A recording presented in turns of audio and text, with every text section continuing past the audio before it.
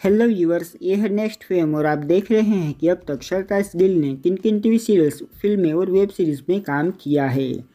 सरताज ने अपने acting career की शुरुआत 2011 से की थी। 2011 में वो नज़र आए एक हिंदी फ़िल्म, खाप में, जिसमें उन्होंने खुश जे मीटर का किरदार निभाया था। फिर 2015 से 2016 तक लीड रोल किया एन टीवी की शो बेगूसराय में, जिसमें उन्होंने प्रियम ठाकुर का किरदार निभाया था। फिर 2015 में ही एन टीवी की शो किलर कराव के अटका तो लटका में वो अजहिम सेल्फ के तौर पर नज़र आए थे।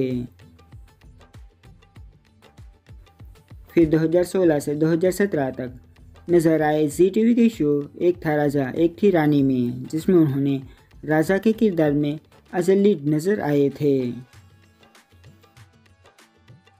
फिर 2018 में नज़र आए एन टीवी के शो लाल इश्क में, जिसमें उन्होंने किशोरे का किरदार निभाया था, जो कि एक एपिसोडिक रोल था।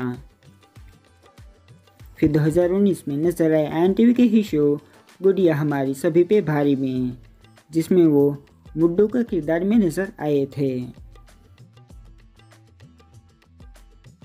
तो ये थे अब तक के सरताज गिल के सभी टीवी सीरियल्स इनमें से आपको कौन सा आया सबसे ज़्यादा पसंद? कमेंट करके ज़रूर बताना।